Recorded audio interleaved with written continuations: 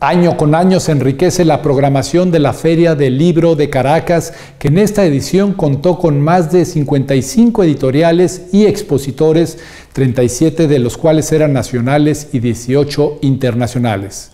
Este año además el evento en el que hay presentaciones de libros, lecturas dramatizadas, foros temáticos y recitales de poesía sucedió como la gran mayoría de las actividades del 2020 de manera virtual.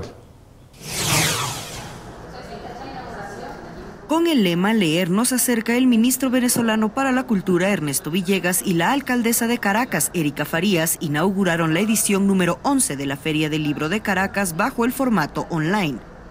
El escritor homenajeado de este año, el filósofo Miguel Ángel Pérez Pirela, manifestó sentirse honrado con el homenaje y dijo que la celebración de la Feria del Libro de Caracas se convirtió en todo un desafío. Ya sabemos que la única plataforma no es la de Gutenberg, es la que más amamos, ah, eh, eh, es nuestro libro de, cabecera que olemos, que tocamos.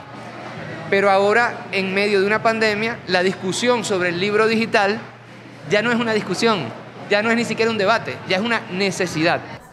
La edición número 11 de la Feria del Libro de Caracas se desarrolla del 23 al 28 de julio con la participación de más de 55 editoriales y expositores nacionales e internacionales presentes a través de redes sociales y plataformas digitales. Con información de la oficina en Caracas, Venezuela, Noticias Xinhua.